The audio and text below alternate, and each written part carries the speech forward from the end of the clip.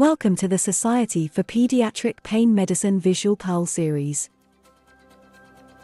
Today's topic is desensitization for complex regional or neuropathic pain syndrome.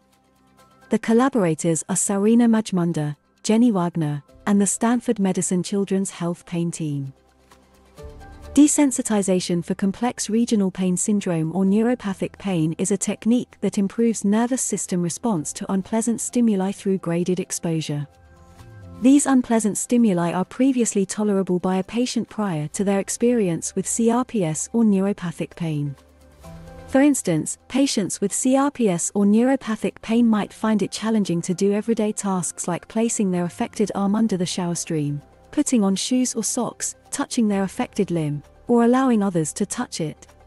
These once manageable activities have become painful due to their condition. Desensitization aims to gradually expose patients to these discomforts to help them regain some level of tolerance and ease their pain responses. The main goal of desensitization is to teach the body not to interpret certain stimuli as painful and restore the body's interpretation to a state where those stimuli are no longer perceived as painful. These stimuli can encompass various sensations like different textures, fabrics, pressures, vibrations, tapping, or changes in temperature. In clinical settings, we often utilize items such as rice and beans, Play Doh, a rolling pin, a vibrating toothbrush, a weighted blanket, warm water pools, hot packs, or even the sensation of wind or a blow dryer. These are just a few of the tools and methods we use. Patients are also instructed on performing desensitization exercises as part of their home exercise program. These exercises help them gradually get used to and become more comfortable with these sensations.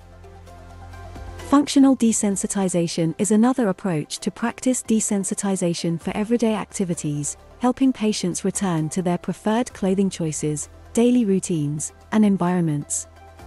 For instance, let's take the example I mentioned about patients struggling to wear socks. We start by assessing the patient's tolerance.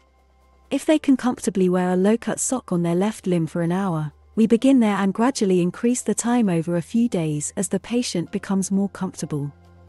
The next step might involve introducing a higher sock or an above ankle sock. This gradual progression exposes more surface area to the sock and the associated sensation.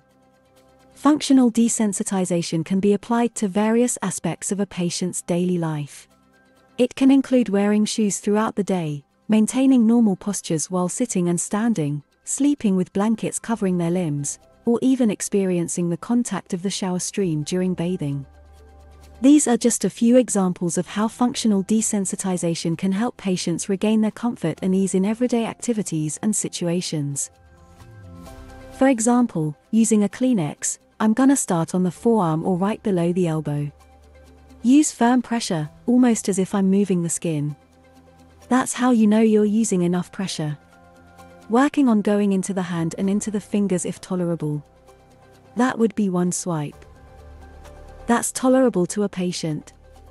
Do a second swipe and assess how many swipes are tolerable for a patient to incorporate at the as part of one part of the daily exercise.